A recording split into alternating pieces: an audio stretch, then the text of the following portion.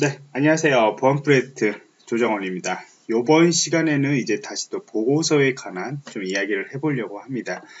어, 제가, 음, 이렇게 요즘 오픈 채팅 이렇게 많이 하고 있죠. 그래서 오픈 채팅 하는 과정에서 제가 쭉 이렇게 글을 읽다 보다가 이제 어떤 분이 이야기하는 것들을 좀 보고 좀 많은 생각을 하게 됐습니다. 음, 그건 어떤 거였냐면은 자신이 이제 회사에 들어갔는데 어떤 프로젝트에 투입이 되었을 때 이제 선임이 어, 자신이 계속 다 점검을 하고 자신에게는 어, 이제 후임에게는 이제 보고서 작성만 이렇게 시킨다는 거죠. 그러면서 이제 느낀 건 뭐냐면은 자신의 이제 기술을 어떻게 보면 더 많이 배우고 싶고 들어왔는데 이제 선임이 그거를 시키니까 별로 뭐 이제 도움이 안 된다. 예, 회사 생활 도움이 안 된다. 그런데 가지 말라. 뭐 이런 뉘앙스의 글들을 어, 많이 올렸더라고요. 그래서 사실 조금은 좀 많이 고민도 했어요. 예, 많이 고민했습니다. 누구 편을 들어야 할지 예, 그렇게 이야기를 했는데 사실 뭐 서로 보는 관점에서 좀 다를 수는 있을 것 같아요. 그런 상황이 발생했을 때. 어, 첫 번째는 후임 입장에서는 당연히 이제 어, 회사에 들어가면은 많은 기술들, 예, 모이킹 이제까지 자기가 배웠던 것들 그리고 그 실무를 한 그 프로젝트에 투입되면서 이 실 환경을 경험한다는 것은 굉장히 중요하고 또 이 환경이 또 다른 곳에서는 경험하지 못할 환경들이 있기 때문에 그 안에서 이제 기술들을 최대한 많이 이게 음, 배우고 싶은 거죠. 많이 배우고 많이 해보고 예 이렇게 하고 싶은데 이제 선임이 이제 보고서 작업하는 시간들로 많이 쓰다 보니까 조금 이제 불만이 있을 수가 있는 거죠. 어, 후임 입장에서는 더 많은 기술들을 배우고 뭐 하는 그런 욕심에 대해서는 충분히 이해를 하는 것이고요. 또 선임 입장에서는 이제 이제 프로젝트 기간이 있어요. 예, 프로젝트 기간이 있는데 이제 결과가 안 나오면은 당연히 이제 어, 계속 어느 정도 이제 후임 쪽에다가 시킬 수도 있겠, 후임 쪽에다 이렇게 시키다가 이제 결과가 안 나오면은 자신이 직접 많은 것들을 이제 알고 있는 것을 가지고 결과들을 이제 뽑아내는데 중점적으로 둘 수가 있는 것이죠. 어, 이 결과가 이제 우선 좋아야 하니까 저 결과가 좋아야죠. 어떤 것을 뭐가 나와야만이 이제 특히 모의킹을 지금 이야기하는 겁니다. 이게 어떤 결과들이 나와야만이 이제 보고서에다 쓸 수 있고 고객사에게도 이제 나중에 이제 비즈니스가 계속 이어져야 하는 거기 때문에 뭐 서로 어떤 상황인지는 자세하게 모르기 때문에 이런 상황들이 이제 음, 나오게 되는 겁니다. 자, 그래서 이제 두 가지에서 제가 저는 이제 중립적인 입장에서 이것들을 좀 음, 이야기를 해보려고 합니다. 제 경험상 그리고 저는 어, 어떤가 이 보고서에 대해서 어떤 생각을 하고 있는가 예, 이것들을 좀 생각을 하고 있습니다. 그래서 어, 후임 입장에서는 선임 보고서 이게 선임이 했던 그런 기술들이나 아니면 기존에 선임이 했던 그런 작성했던 그런 보고서를 보고 기술을 많이 배우게 되는 것이죠. 기술을 많이 배웁니다. 저도 이제 어, 그 신입으로 들어갔을 때 처음에 이제 보고서 작성하는 방법도 모르죠. 신입 들어가서 보고서 작성하는 방법도 모르고 그 다음에 선임들이 이런 환경들을 만났을 때 어떻게 진행을 했는지 예, 그게 너무 궁금한 거죠. 감이 안 오니까요. 저희들이 학생일 때 학생에서 배웠던 거를 실제 실무로 가면 굉장히 많이 많은 갭 차이가 있거든요. 많은 갭 차이가 있습니다. 왜 그러냐면은 제일 중요한 것은 그런 환경들을 안 겪어봤으니까. 예, 학생일 때는 이제 환경을 아무리 구성을 하고 하더라도 사실 뭐 실무에서 사용하는 환경들의 뭐 굉장히 뭐 1% 2%도 안 되는 환경들이죠 사실요. 네, 그래서 이제 어떻게 할지도 모르겠고 제가 배웠던 것을 가지고 이제 공격을 진행하더라도 전혀 먹히지는 않고요. 그러면 제일 중요한 것은 이제 선임이 작성한 이제 보고서거든요. 선임이 얼마나 잘 작성을 했고 또 이제 선임이 각 그 했을 때 어떤 식으로 잘 포장을 했고 이 기술을 어떻게 잘 설명을 했나라는 것 쪽이죠. 그래서 선임 입장에서도 사실 자신이 했던 기술에 대해서도 어, 정말 후임들이 나중에 볼 거라고 생각을 하고 잘 이제 작성을 해놓는 것이 중요한 거죠. 가이드 같은 경우에도 막 몇 년 동안 썼던 것들을 그냥 계속 자기도 발전하지 않고 계속 쓴다면 후임은 그거를 계속 따라갈 수밖에 없습니다. 후임은 이제 선임을 보고서를 의지할 수밖에 없는 상황이다 보니까요.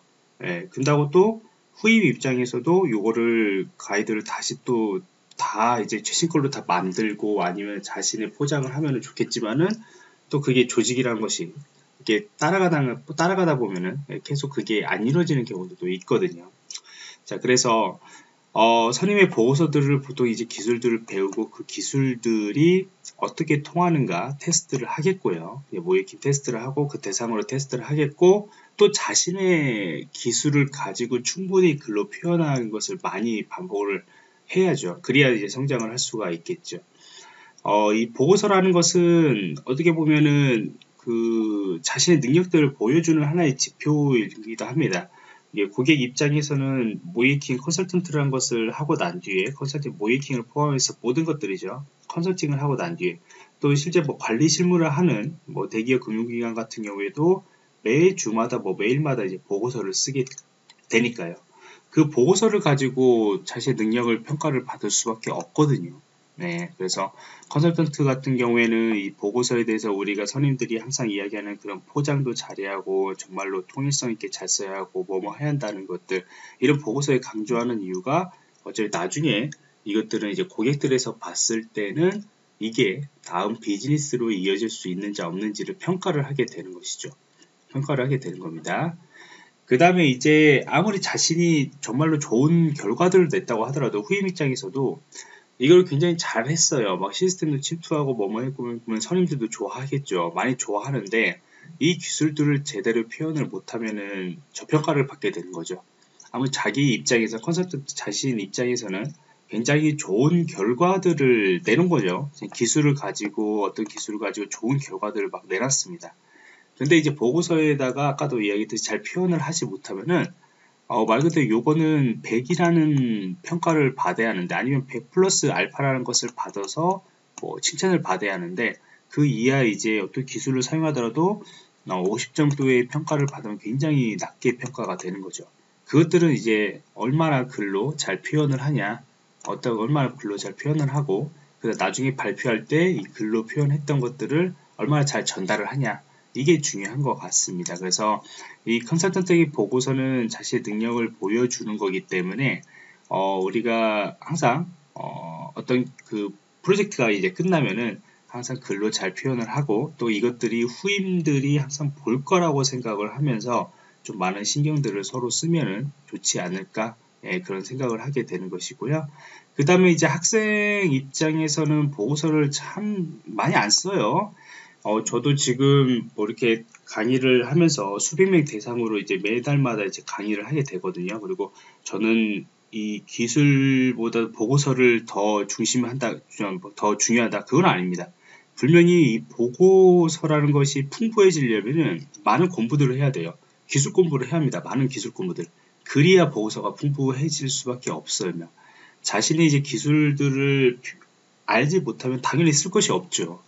그러니까 우선적인 것은 분명히 모이킹 입장에서는 기술이 필요한 것은 맞습니다. 많은 것들 취약점을 분석을 해야 한다고 제가 강조를 했고요. 많은 것들을 해봐야 한다고 정말로 많은 환경들을 구성을 많이 해보고 여러 가지 이슈들을 최신 동향들의 이슈를 쫓아가면서 시나리오도 많은 것들을 고민을 해보라고 제가 이야기를 했습니다.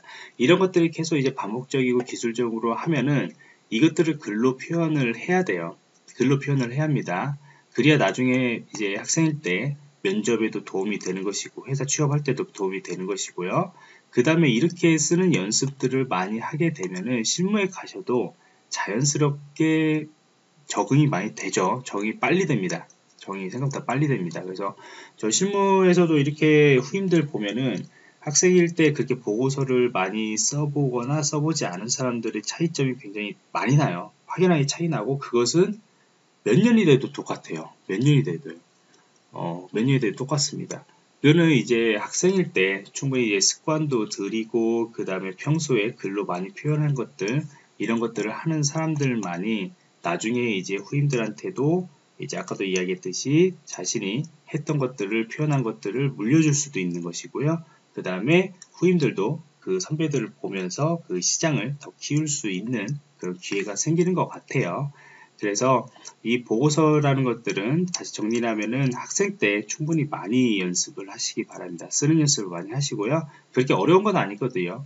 단지 시간이 많이 걸리기 때문에 그 시간을 걸리는 만큼 내가 기술을 더 공부하면 되지 않겠냐라는 생각들이 계속 있기 때문에 좀 그런 건데 사실 정리를 하지 않으면 나중에 앞에 배웠던 기술도 다 잊어버리거든요. 다 잊어버리게 됩니다. 그래서 그것들 보고서를 잘 정리를 하시고 나중에 실무까지 잘 해서 준비를 해서 여러분들이 원하는 그런 취업들이 될 수 있는 그런 기회가 됐으면 좋겠습니다.